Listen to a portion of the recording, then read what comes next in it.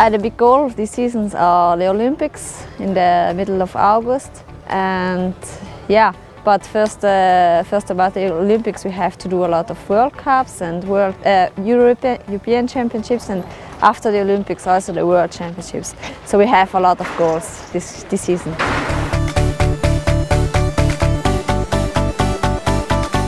Already with this winter. I did some cycle cyclocross races because the course in London is, uh, is, a, is similar to a cyclocross race. And um, but the rest I yeah I I will see to to arrive there in the in the biggest chain I can.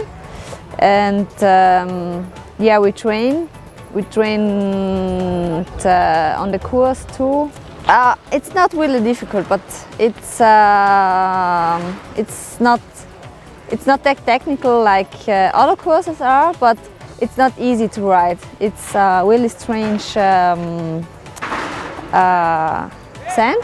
Yeah, I it, it's it's another course, and uh, you have to be very very attention during the race. I say I will do my best but it, it's very difficult to say yeah it's go, the, the, goal is gold because it's one day it's one race and uh, yeah I hope for gold sure but um, I, I cannot say now it's I, I make I will, will make only gold and yeah I do my best and uh, I, I hope to make a good race.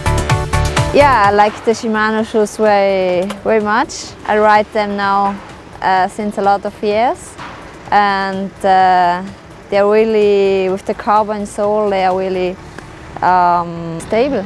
Yeah, it's very stable and it, I think it's important. It gets uh, in the best way the power to the bike.